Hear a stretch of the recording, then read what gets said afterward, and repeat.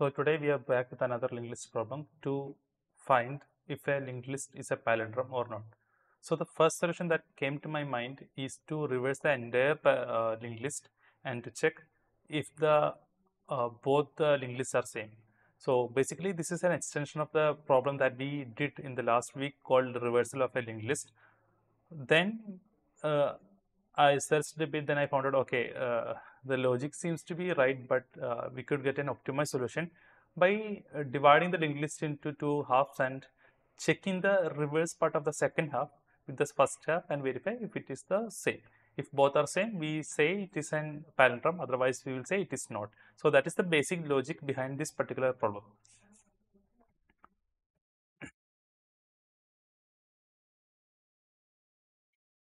So here you can see that uh, this is how it works. Uh, basically, we first find whether uh, the middle point of that particular linked list. Then we reverse the second half of the linked list, uh, and here we are checking the if the first half is equal to the second half. If any of those elements are not equal, we return it as false. If both are equal, we return them as true. So that basically sums up how we can handle this particular problem. Bye.